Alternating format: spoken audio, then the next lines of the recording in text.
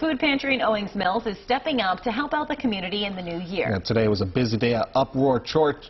Uproar Church for their weekly drive-through pantry. The event is continuing in 2021, but is switching from Saturdays to Sundays. People picked up all kinds of food and groceries. Organizers say the event was especially important during the pandemic.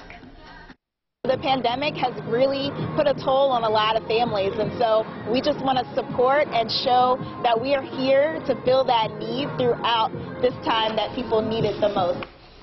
If you missed out on the event today, don't worry. The food pantry will be open from 1 p.m. to 2 p.m. every Sunday at Uproar Church.